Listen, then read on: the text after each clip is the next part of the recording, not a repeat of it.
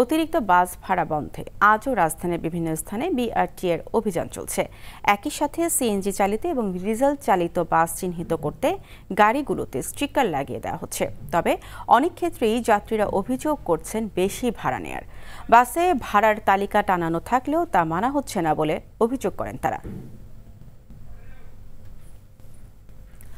বাস ভাড়া এবং অভিযানের খবর জানাতে এই মুহূর্তে রাজধানীর কারওয়ান বাজার এলাকা থেকে যোগ দিচ্ছেন এ আর বাদল।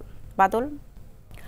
বাস ভাড়া নিয়ে যাত্রীরা কি বলছেন? এছাড়া বাসের হেল্পাররাই বা কি বলছেন? বিস্তারিত জানাবেন।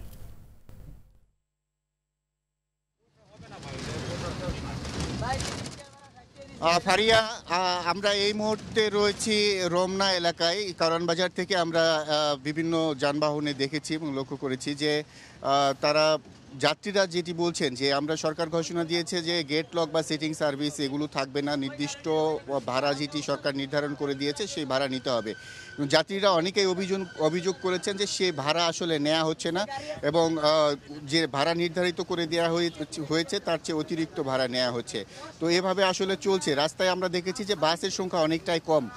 চালকরা বলছিলেন যে এটি কম হওয়ার কারণ হচ্ছে যেহেতু বিভিন্ন জায়গায় ভ্রাম্যমাণ আদালত রয়েছে এবং অভিযান চালানো হচ্ছে, তার প্রেক্ষিতেই আসলে এই ভাড়া যেন অতিরিক্ত ভাড়া কন্টিনিউ করতে পারে, এই জন্যই তারা আসলে বন্ধ রেখেছে অনেক বাস তো এখানে একজন যাত্রী রয়েছে, তার কাছে জানতে চাইব যে ভাড়া নিয়ে আসলে আপনাদের কি অভিযোগ রয়েছে? সরকার যে সিটিং সার্ভিস বন্ধ করে দেওয়ার কথা ছিল এবং নির্দিষ্ট একটি স্পটে থেকে যেন একটা ভাড়া না হয়, ভেঙে ভেঙে ভাড়া হয় কিলোমিটার প্রতি, সেরকম ভাড়া কি নিচ্ছে?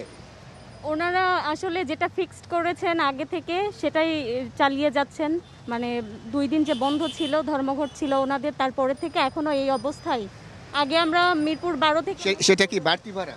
হ্যাঁ অবশ্যই বাড়তি ভাড়া। আমরা মিরপুর বারো থেকে মতিঝিলে যেতাম পঁচিশ টাকা করে। সেখানে এখন নিচ্ছে পঁয়ত্রিশ টাকা। তো এটা আমাদের জন্য মাসে হিসাব করতে গেলে হিউজ একটা ইয়ে দিয়ে দিতে হচ্ছে আমাদেরকে। তো এ ব্যাপারে দেখছি না সরকারের খুব একটা ভ্রুক্ষেপ। বিশ্ববাজারে যখন তেলের দাম বাড়িয়ে দেয়, আমাদের সব কিছু এখানে বাড়িয়ে দেওয়া হয়। পরপর তিনবার তেলের দাম কমানো হয়েছে। আমাদের কি কোনো কিছু কমিয়েছে? ইভেন গতকাল আমরা শুনেছি যে তেলের দাম কমিয়ে দিয়েছে। কই, আমাদের ভাড়া তো কমানো হয়নি। আমরা পঁয়ত্রিশ টাকা করেই দিচ্ছি। এটা নিয়ে হেল্পারদের সাথে আমাদের অনেক তর্ক বিতর্ক হয়, কোনো লাভ হয়নি। আপনারা রিপোর্ট করছেন, তাতেও কি কোনো লাভ হচ্ছে? ভুক্তভোগী তো আমরা। আমরা দৈনিক যাচ্ছি, আমাদের যেতে বাধ্য আমরা। আমরা কি করব? আমাদের চাকরির ক্ষেত্রে যেতেই হচ্ছে। দৈনন্দিন প্রয়োজনে আমরা যেখানে সেখানে যাচ্ছি এরকম বেশি ভাড়া দিয়ে। করণীয় কি মনে হয় আপনার? এটা হচ্ছে প্রশাসনিক যে ব্যাপারগুলো আছে এগুলো সব স্ট্রং হওয়া দরকার। আপনি দেখেন কত আইন আছে প্রয়োগ আছে এগুলোর সঠিক প্রয়োগ তো নেই। ধন্যবাদ আপনাকে ধন্যবাদ আপনাকে। ফারিয়া, শুনছিলেন, একজন যাত্রী অভিযোগ করছিলেন এবং যে কোনো গন্তব্য গেলেই তাদেরকে মিরপুর থেকে মতিঝিল পর্যন্ত যে কোনো গন্তব্যে গেলেই তাদেরকে পঁয়ত্রিশ টাকা করে দিতে হচ্ছে। এটি আসলে যে সার্ভিস বলা ছিল যে গেটলক বন্ধ হয়ে যাবে সেটি আসলে হয়নি। তো ফারিয়া, এই ছিল আমার কাছে সর্বশেষ খবর। বাদল, আপনাকে ধন্যবাদ। এতক্ষণ রাজধানীর রমনা এলাকা থেকে জানাচ্ছিলেন এ আর বাদল।